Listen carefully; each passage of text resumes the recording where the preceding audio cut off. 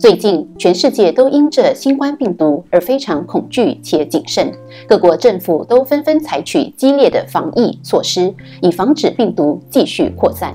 的确，这个病毒是可怕的，它可以忽然叫我们或我们所爱的人陷入病危状态。但圣经让我们看到有另一个更可怕的病毒，它不但会带来肉身的死亡，更会带来灵里的亏损，甚至是永远的审判。这可怕的属灵病毒就是罪了。为什么把罪比喻成病毒呢？因为罪和病毒一样，很容易会传染。哥林多前书第五章说：“你们这自夸是不好的，岂不知一点面教能使全团发起来吗？”同样的，一点的罪也能影响全人。有很多人总觉得一点小罪没多大问题，就常喜欢将自己的罪合理化。有时罪的可怕性就在于它看起来不像罪，就好像面酵看起来很像面粉，很难将两者分辨和分开。就连这个新冠病毒也一样，感染者和非感染者看起来没什么不同，好些感染者也没有症状，所以很难将他们与常人隔离，以防止病毒的扩散。但如果放任这病毒，后果将不堪设想。对于罪更是如此。若放任罪在我们的生命蔓延，将会带来极大的破坏。尤其我们个人的生命也是与众教会肢体连接的。若一个信徒被罪感染了，整个群体也很快会被罪感染的。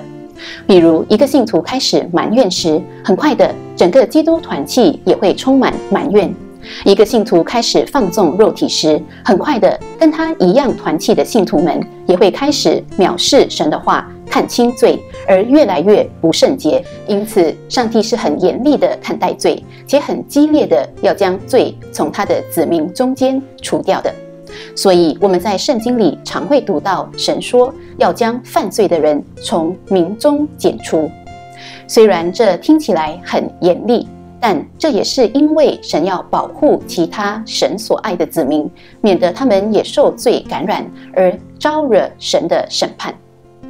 因为神乃是叫我们要圣洁，在旧约里，上帝一再嘱咐以色列民不可随从外邦人的习俗。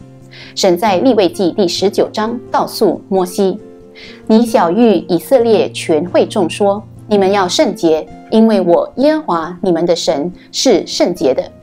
立位记二十章，我在你们面前所逐出的国民，你们不可随从他们的风俗，因为他们行了这一切的事，所以我厌恶他们。但我对你们说过，你们要承受他们的地，就是我要赐给你们为业，流奶与蜜之地。我是耶和华你们的神，使你们与万民有分别的。所以你们要把洁净和不洁净的禽兽分别出来，不可因我给你们分为不洁净的禽兽，或是滋生在地上的活物，使自己成为可憎恶的。你们要归我为圣，因为我耶和华是圣的，并叫你们与万民有分别，使你们做我的名。上帝一直强调属他的人是该分别为圣的，因此我们更要保守自己，不被罪沾染。既然我们已经从罪的势力得救了，就当远离不洁之事，而且更亲近那圣洁的属灵的。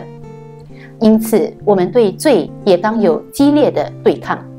对于我们个人的犯罪，马太福音十八章说：“倘若你一只手或是一只脚叫你跌倒，就砍下来丢掉；你缺一只手或一只脚进入永生，强如有两手两脚。”被丢在熔火里。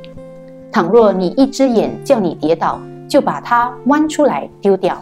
你只有一只眼进入永生，强如有两只眼被丢在地狱的火里。每次读到这经文时，都觉得神特别严厉。但圣经越激烈的提醒，就越意味着罪的杀伤力是何等的大而可怕。罪就好像癌细胞一样，如果我们留着而不切除，很快的。也许癌细胞就不只是破坏我们身体的一个部分，而是扩散到全身，甚至会夺走我们的性命。所以，我们要不惜代价的对付罪，且把一切罪的诱惑从我们的生命切除。在罪还没有致死我们之前，我们要致死罪。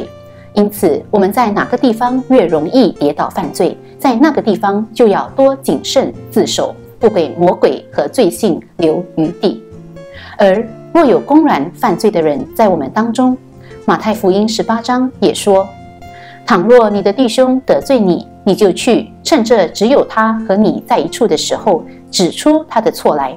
他若听你，你便得了你的弟兄；他若不听，你就另外带一两个人同去。要凭两三个人的口做见证，句句都可定准。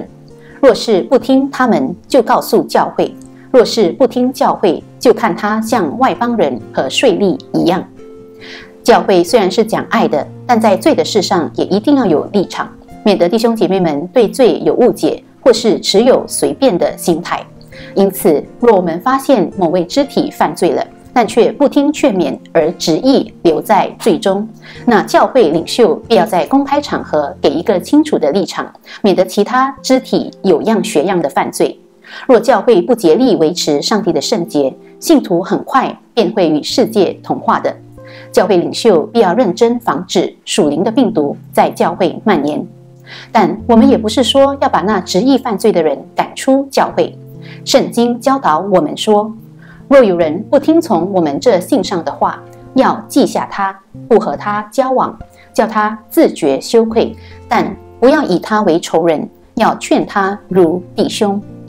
这里讲到不要以那肢体为仇，而刚才马太福音的经文也提到，要把这样不听劝的肢体当作外邦人。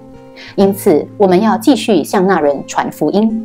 或许他还没重生得救，所以没有改变的心意或能力。但我们要继续为他的救恩祷告。可是我们要为他的罪而难过，而非包容他的罪。神不许可罪和玷污之事影响他的子民，所以我们要竭力保守信徒的圣洁，使他们不受罪感染。